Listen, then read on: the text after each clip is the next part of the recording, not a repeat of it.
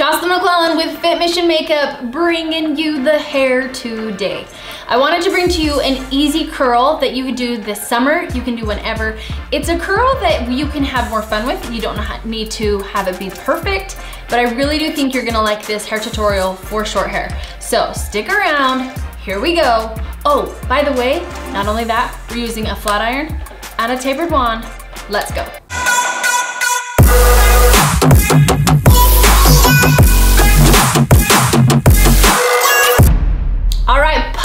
Let's get started on this hair tutorial of second day hair. Yesterday, I did not have time to do my hair all curly. Usually I'll get it all curled on day one, so that on day two and three, I'm just letting it become a really loose curl. But yesterday I didn't have time to curl it, so I just flat ironed the ends. Now my hair is pretty darn straight.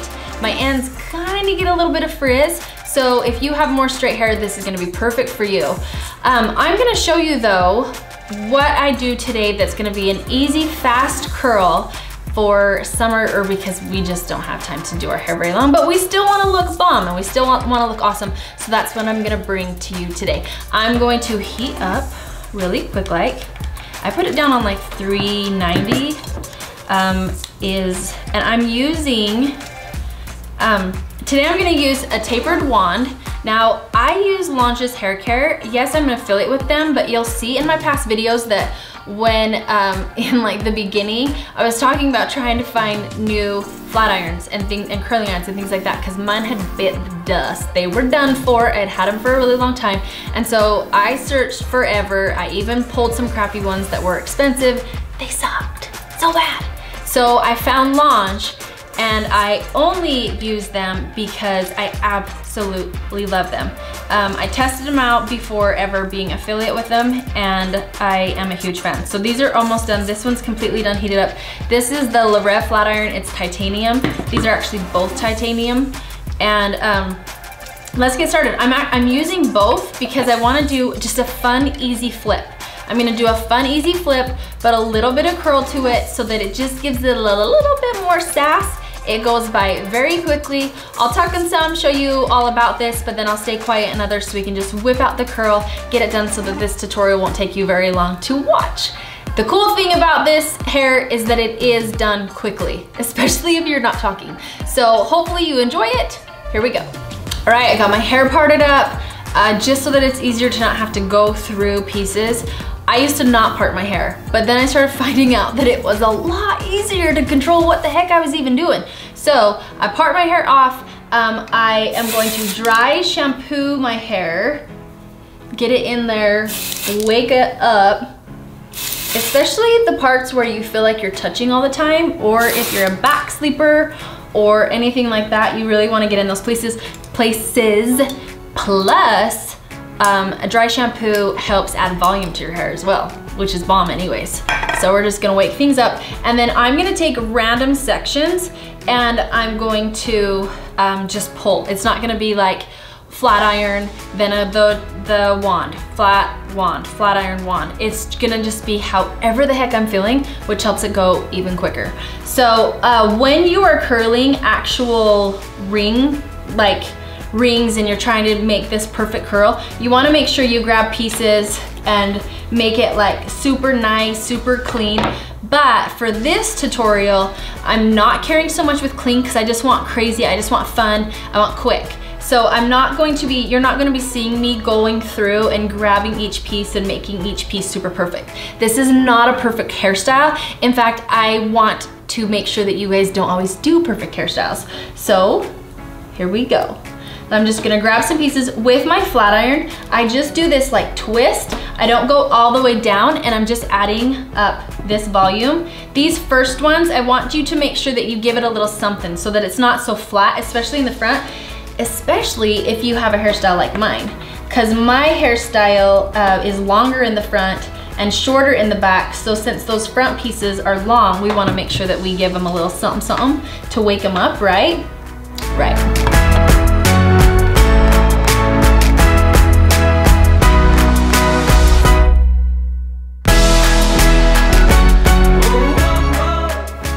So I'm gonna go in with some curl pieces.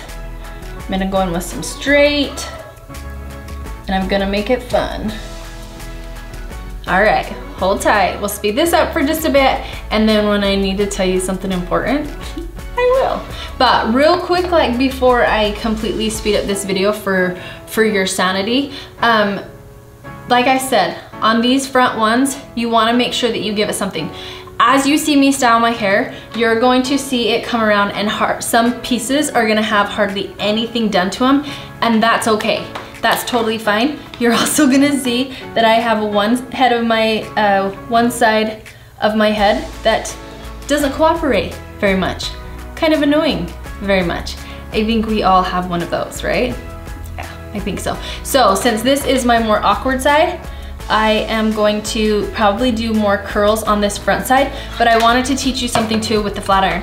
So because you have one side that's easier for you to kind of twist and turn and do all the things right, and you have one side that isn't as easy, I want you to kind of over exaggerate it, putting your hand into it before, um, before you do. So instead of just coming in it just like this, and then you're trying to turn it back and your arm is like, and you can't figure it out, right? And then you end up with a weird curl. I want you to over exaggerate your hand and then that way you can give it that crease and bring it down without a really weird curl. So I'll show you that one more time. You're gonna over exaggerate your hand so you're not going in, you're not going in easy like this. You're twisting your hand over and then you're bringing it and doing that twist and then you're just having it sit there. Let me bring it down just a bit more. There we go. So let me show you that again, right here. Twist. Don't go all the way through, just give it a twist.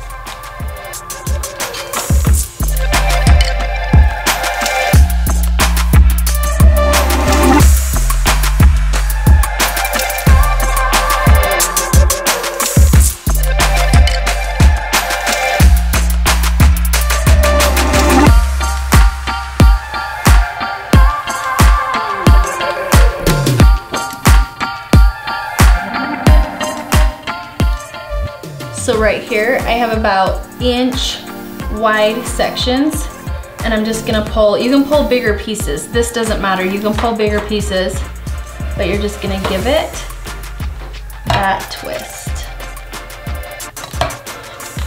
And I don't go down to the ends. That's why it was good on day one to flat iron my ends. And if you do have frizzy ends, you can totally flat iron those ends. But if you, before you start, and you know you have frizzy ends, if you just wanna go to them really, really quickly, here's your chance. Before it's your chance. There was your chance.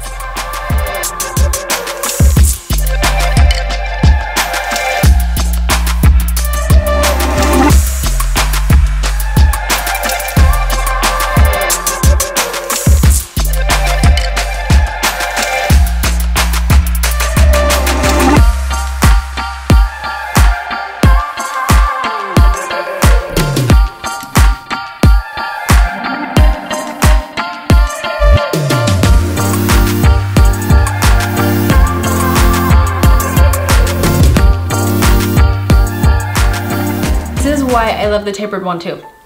Because I can go in and make some curls that are going to be super tight up in here and just make these fun teeny tiny curls. And then I can also make ones that are bigger. So I love me a tapered wand. It is probably one of my very favorite things right now. I think the tapered wand has all kinds of goodness to it. I love it so much. Okay, now we're at this point where I'm at the top. Um, this is where I tend to get oily. I think it's because I'm always messing with my part. So I'm gonna make sure that I am getting that dry shampoo in there really good like. P.S. How many of you noticed my shirt? Def Leppard? Yes, went to one of their concerts. I tell you what, always good. Always a good choice. Always a good choice. Okay, the, the biggest thing right now when I get to the very top, this is where the important factor comes in. It's how you want to part your hair and which side you want to part it on. Now, by the show of hands, how many of you guys have been parting your hair on the exact same side uh, for years, right? Well, let's make some volume happen, baby, and let's change things up. So you are going to actually, well, you can decide, it's up to you, but you can figure out how you want your part to be. You can curl everything down the center and then flip it and whatnot, but I don't know if you've noticed, but I've been curling everything back, and when I have, um, when I curl everything back, if I, when I change my part and everything's been curled back, it's actually gonna look, make some pieces look like they've been curled forward.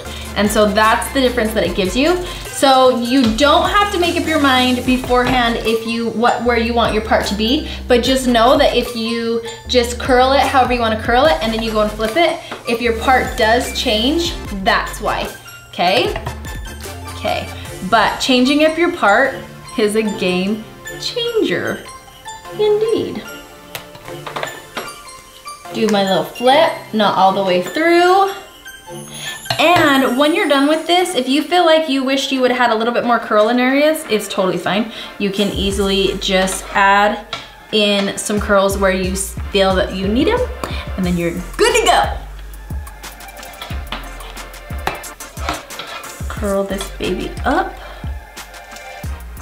We're almost to the part. Then you'll see what I do.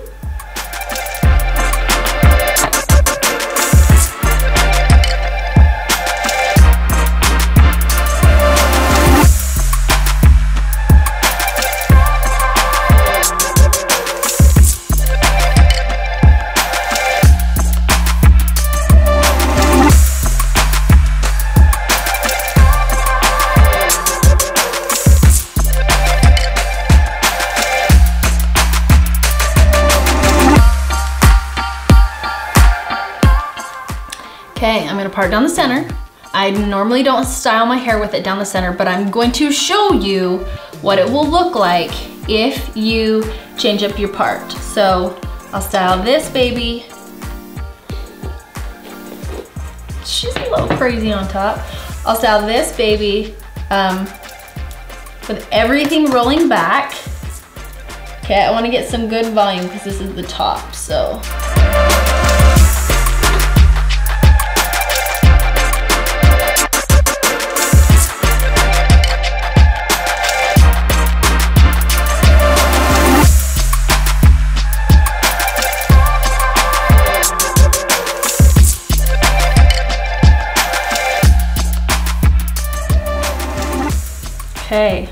Almost wrapping it up. If you notice at this top stuff, white where it's longer, I do my flip, but then I have so much hair that want that needs that needs a home, so I'm just gonna do it again a little bit down, and it just makes it for a crazy, funky curl slash crimp. You'll like we're almost done and then I'm gonna show you the difference in the parts.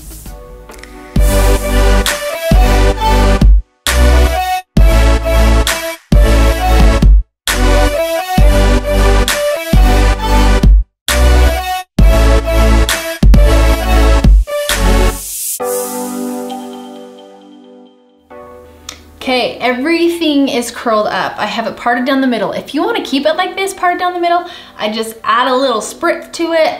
Um, I would use some type of uh, oil, like this is marula oil from L'ange Hair.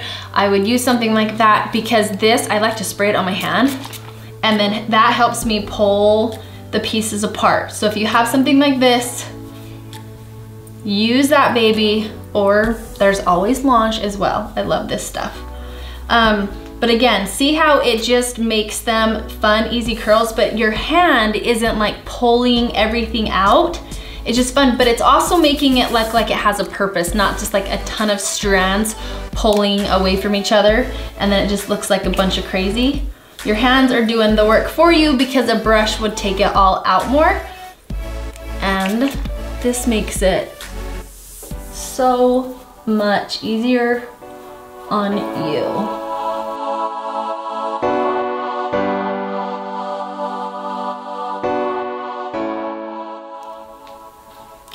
So again, you can leave it just like this, or we can mess with the part a little bit more. So what I'm gonna do is, my hair normally parts from this side over, um, because I parted it down the middle though, I'm gonna, and then I have some on this side, it's gonna add more volume over to this side.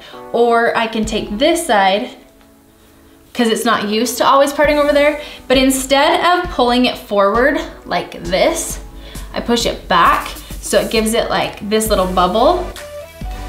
And then it just gives you a little bit of sass, right? So this is parting on this side. This is the side that my hair is not used to. I love it. I love the extra bit of poof, but look at that volume that it gives you. Okay, and then this is the side that it's used to parting on.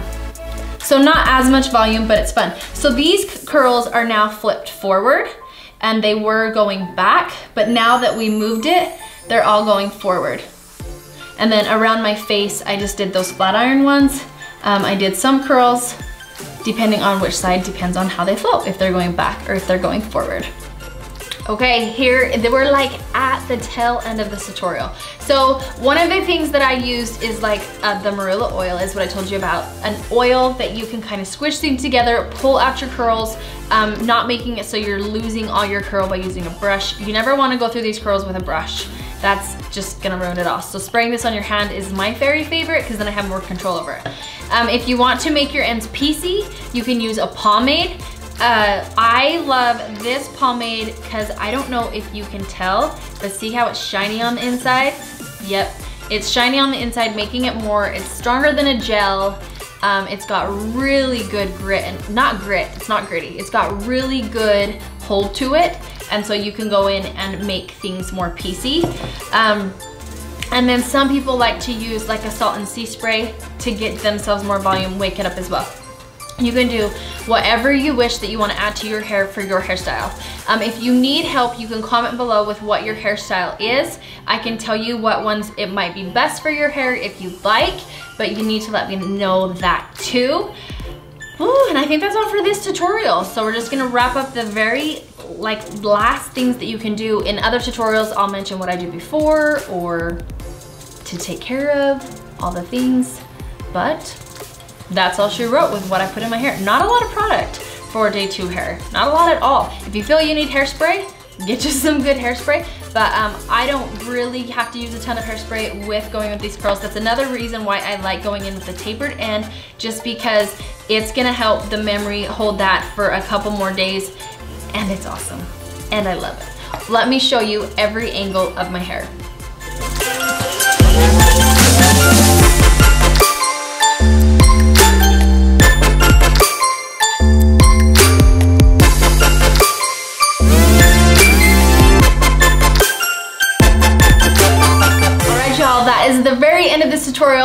That you learned something new. I hope you're going to take this into your bathroom, style your hair, have some fun with it, and let me know how it goes. You can find me on Instagram at jocelyn.mcclellan.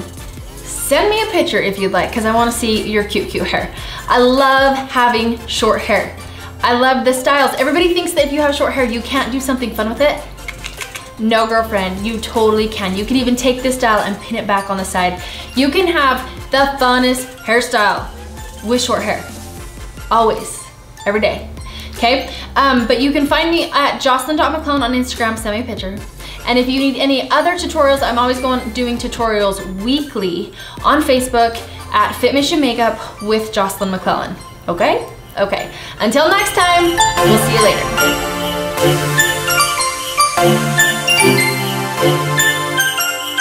later.